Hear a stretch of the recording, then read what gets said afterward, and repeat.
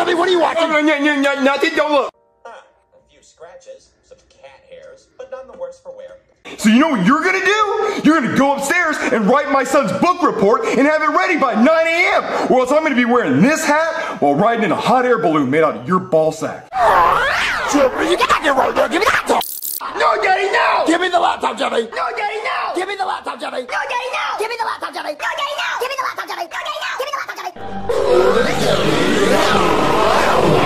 You're yelling at me. I'm not yelling, Jimmy. Let, let's talk. There you go. Uh, Zeeb, Zeeb, Zeeb. Uh, You paused.